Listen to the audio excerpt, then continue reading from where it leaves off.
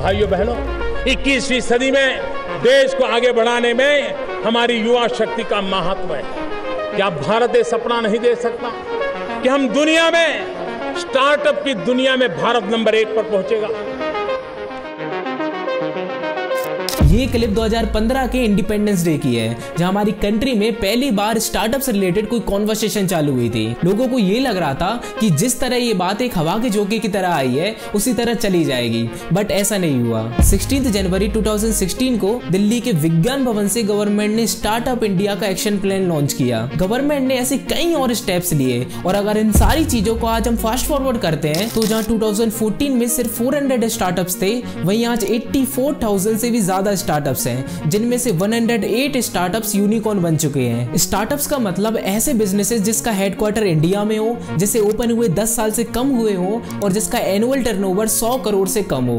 और यूनिकॉर्न का मतलब ऐसे स्टार्टअप जिनकी वैल्यूएशन 1 बिलियन डॉलर हो। इन यूनिकॉर्न्स की वजह से आज इंडिया वर्ल्ड में थर्ड लार्जेस्ट स्टार्टअप इकोसिस्टम बन चुका है, और जल्दी इंडिया चाइना को भी पीछे छोड़ने वाला है। अब यहाँ पे कुछ सवाल उठते हैं, जहाँ एक तरफ़ प्रॉफिट एक डर्टी वर्ड माना जाता था, वही आज हम ऑन्टरप्रनरशिप एरा में कैसे एंटर हो गए? कैसे इंडिया एक जॉब सीकर की मेंटेलिटी से जॉब क्रिएटर की मेंटेलिटी में आ गया है? और आज रिसेशन जैसे माहौल में इन स्टार्टअप्स को फ्यूचर में किन किन चैलेंजेस का सामना करना पड़ेगा? आइए चलिए इस वीडियो में जानते हैं।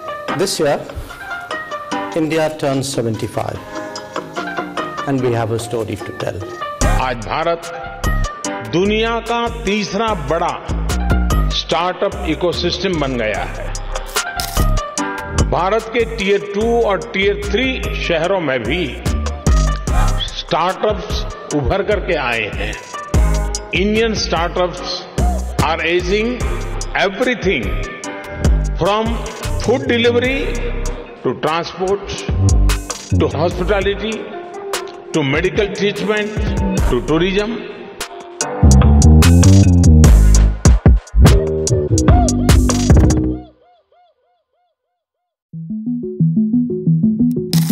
की पिक्चर हमें आज देखने को मिलती है, वो आज से कुछ साल पहले नहीं थी। इसको डिटेल में समझने के लिए हम टाइम में थोड़ा पीछे जाते हैं।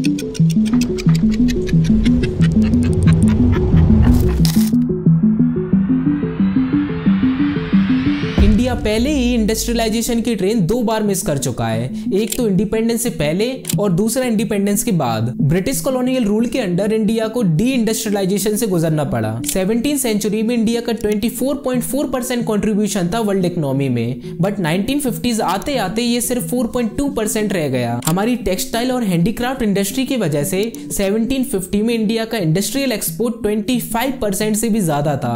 बट वो भी नाइनटीन सेंचुरी में आते आते सिर्फ़ टू परसेंट रह गया। और बाकी जो कमी रह गई थी, वो इंडिपेंडेंस के बाद नेहरू जी की सोशलिस्ट पॉलिसीज़ ने पूरी कर दी थी। नेहरू जी के लिए प्रॉफिट एक डेटिव वर्ड बन गया था।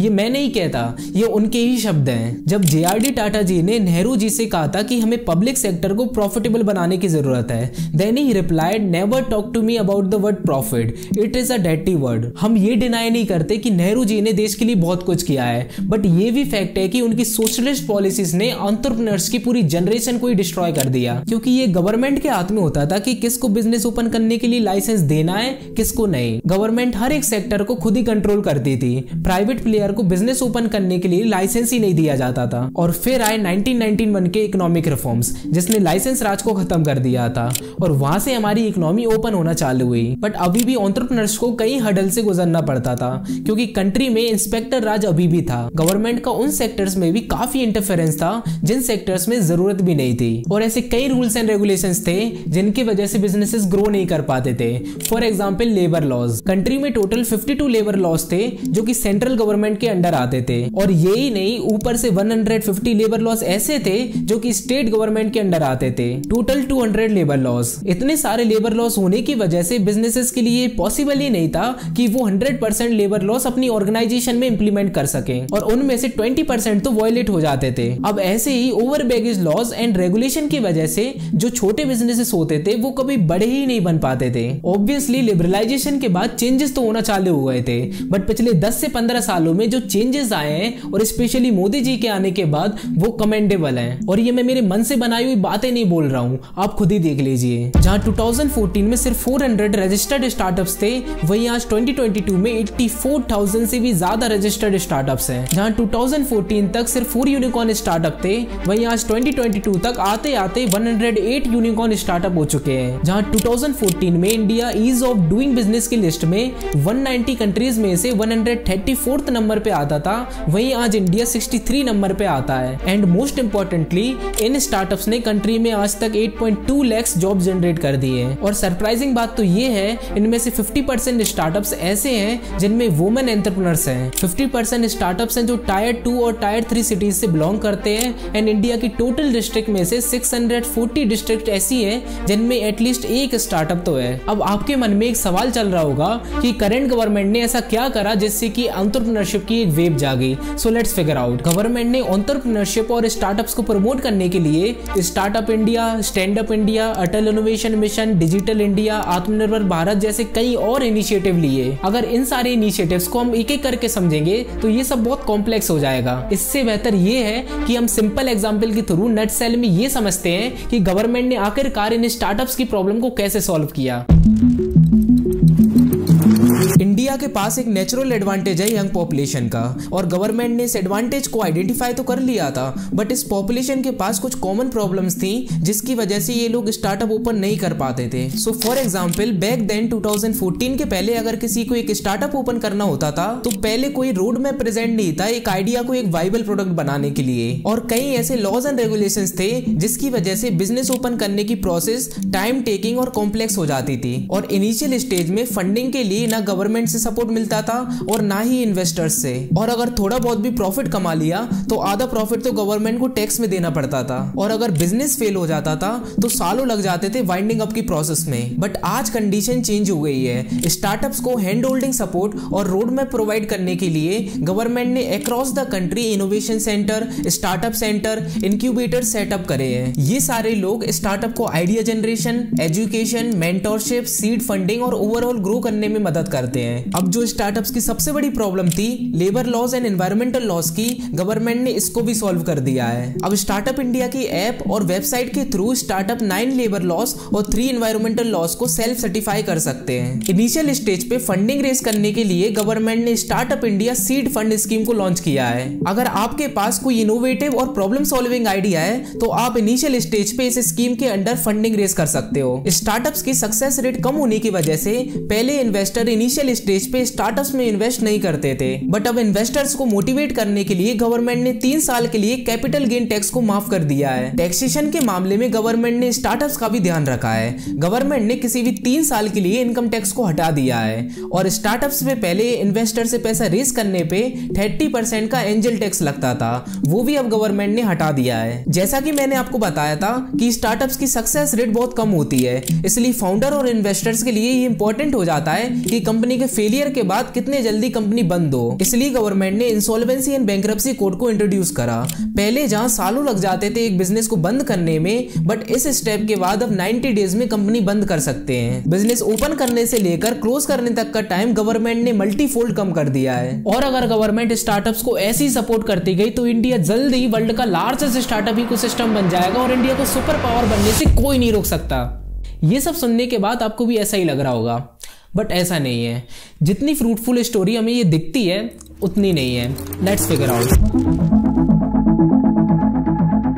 Liquidity constraint was and is the biggest factor for the rise and fall of the new age companies. More than 17,000 layoffs this year, even at the most valued, most funded new age companies from Ola to Byju's, Unacademy, Vedantu, Blinkit, ChargeBee. The list is getting longer. आज India में 108 unicorn startups हैं जिसमें से 44 startups last year unicorns बने हैं और overall market condition खराब होने की वजह से इस साल सिर्फ 22 स्टार्टअप्स ही यूनिकॉर्न बन पाए बट सरप्राइजिंग बात तो ये है कि इन 108 यूनिकॉर्न्स में से सिर्फ़ 18 टू 20 यूनिकॉर्न्स ऐसे हैं जो कि प्रॉफिटेबल हैं। बाकी सारे unicorn startup cash burning machine है। अब प्रॉब्लम तो यहाँ आती है कि जो पैसा ये स्टार्टअप कस्टमर एक्विजिशन के लिए लगाते थे, वो पैसा फंडिंग विंटर की वजह से ये रेज नहीं कर पा रहे हैं। रशिया यूक्रेन वॉर और ग्लोबली इंटरेस्ट रेट्स इंक्रीज होने की वजह से इन्वेस्टर्स स्टार्टअप्स में इन्वेस्ट ना करके सेफर एसेट क्लासेस में शिफ्ट हो रहे हैं। और ये हमें डेटा में भी शो होता है। जहाँ 2021 में इंडियन स्टार्टअप ने 42 बिलियन डॉलर की रिकॉर्ड लेवल फंडिंग रेस की थी। वहीं 2022 में इन स्टार्टअप ने सिर्फ़ 24 बिलियन डॉलर की फंडिंग रेस कर पाई है। 2022 की स्टार्टिंग तो ठीक हुई थी। जनवरी में इंडियन स्टार्टअप ने 4.6 बिलियन डॉलर की फंडिंग रेस की थी।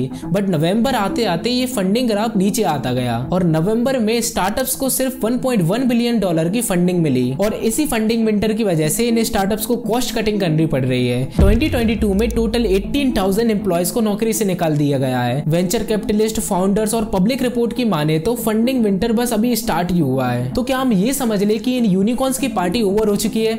ऐसा नहीं है। ग्लोबली सेंटिमेंट्स खराब है और ये प्रॉब्लम सिर्फ़ इंडिया तक ही रेस्ट्रिक्टेड नहीं है, बल्कि चाइना यूएस यूके को भी सेम प्रॉब्लम से गुजरना पड़ रहा है। और एक तरीके से ये एक हेल्दी कंसोलिडेशन है। फ्लिपकार्ट पेटीएम जोमेटो ओयो जैसे बड़े बड़े स्टार्टअप्स प्रॉफिटेबल नहीं है और फंडिंग रेस करने के लिए ये स्टार्टअप्स अब प्रॉफिटेबिलिटी की तरफ़ फोकस कर रहे हैं। आईएनसी 42 के एस्टिमेट के अकॉर्डिंग 2025 तक इंडिया में 1 लाख रजिस्टर्ड स्टार्टअप्स होंगे।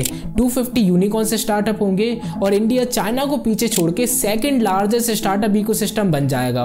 और ये स्टार्टअप्स कंट्री में 32 लाख जॉब जनरेट करेंगे। So that's all for today इस वीडियो को देखने के बाद आपको ये तो पता लग ही गया होगा कि जहाँ प्रॉफिट को एक डेटी वर्ड की तरह ट्रीट किया जाता था, वहीं आज इंडिया चाइना जैसे वर्ल्ड लीडर को पीछे छोड़ के एक ऐसे एरा में एंटर कर चुका है, जहाँ जॉब मांगने वालों से ज़्यादा जॉब देने वाले हैं। देखो, अब स्टार्टअप्स के फ्यूचर का तो पता नहीं बट मेरा फ्यूचर आप ही लोगों के हाथ में है। तो वो लाइक शेयर सब्सक्राइब वैसे कोई ज़बरदस्ती तो नहीं है, लेकिन अगर कर दोगे तो ये चेहरे पे स्माइल ऐसी ही बनी रहेगी।